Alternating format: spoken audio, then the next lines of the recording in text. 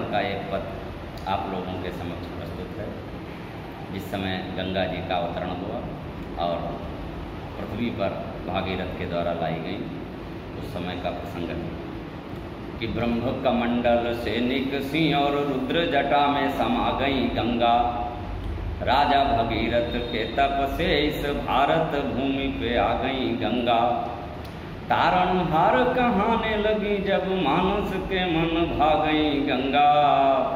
और विश्व में देश कई थे परंत इस राम के देश में आ गई गंगा। विश्व में देश कई थे परंत इस राम के देश में आ गई गंगा।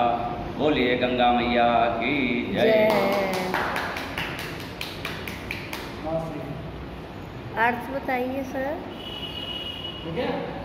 भागीरथ जी ने गंगा जी को लाने के लिए सबसे पहले आदि गंगा माँ गोमती की तपस्या किया। गोमती जी प्रसन्न हुई, तब उन्होंने रास्ता बताया कि गंगा जी ब्रह्मा जी के कमंडल में है। वहाँ से आप ब्रह्मा जी के पास जाइए। तो ब्रह्मा जी के पास गए भागीरथ जी। ब्रह्मा जी ने कहा कि मैं छोड़ तो दूँगा गंगा जी को पृथ्वी पर ले जाने के लिए। लेकिन पृथ्वी पर उनके वेग को कोई रोक नहीं पाएगा। सब तहस नहस हो जाएगी पूरी सृष्टि। तो इसलिए आप शंकर जी के पास जाइए। तब शंकर जी की तपस्या किया। भागीरथ जी ने, तब शंकर जी जब रेडी हुए गंगा जी के वेग को संभालने के लिए, तब फिर ब्रह्मा जी के पास भागीरथ जी गए और उनसे कहा, अनुनय विनय किया, प्रार्थना किया कि गंगा जी को छोड़ दीजिए।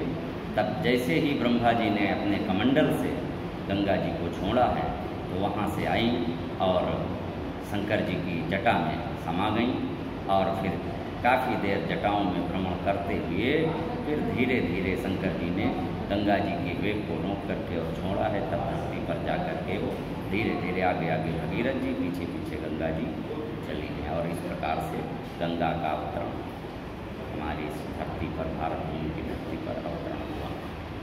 thank you very much sir ये इन्फॉर्मेशन देने के लिए।